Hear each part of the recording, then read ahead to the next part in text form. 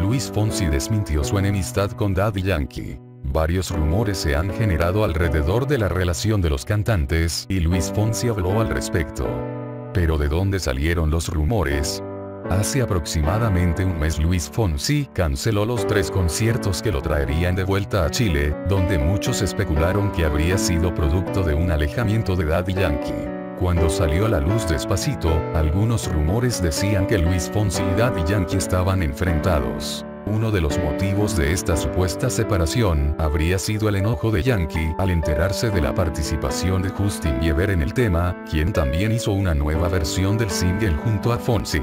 En los últimos meses, la cancelación de varios conciertos por parte de los cantantes, también habrían hecho resurgir la idea de un enfrentamiento. Para aclarar su situación, Fonsi brindó una nota diciendo, Desafortunadamente, los conciertos que estaban pactados con mi hermano Daddy Yankee no se pudieron dar por un conflicto que hubo entre la oficina de él y el empresario del concierto.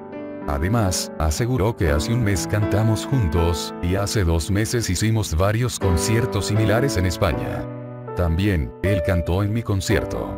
Esa noticia fue bastante rara que surgiera de la nada.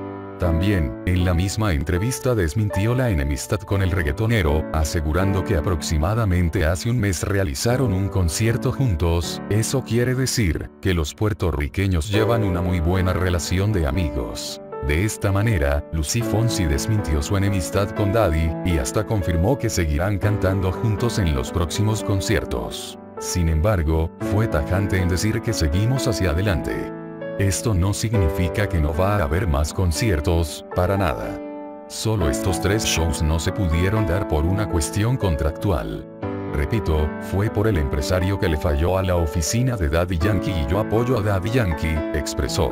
Gracias por visitar tu canal OK Mix. Saludos.